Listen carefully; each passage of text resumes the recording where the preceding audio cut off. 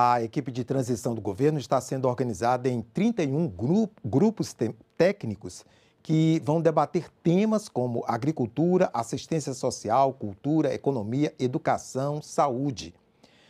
Os líderes de cada grupo vêm sendo anunciados pelo vice-presidente eleito, Geraldo Alckmin, e hoje a presidente do PT, a ex-senadora Gleisi Hoffmann, disse que será formado um grupo de parlamentares para acompanhar cada grupo.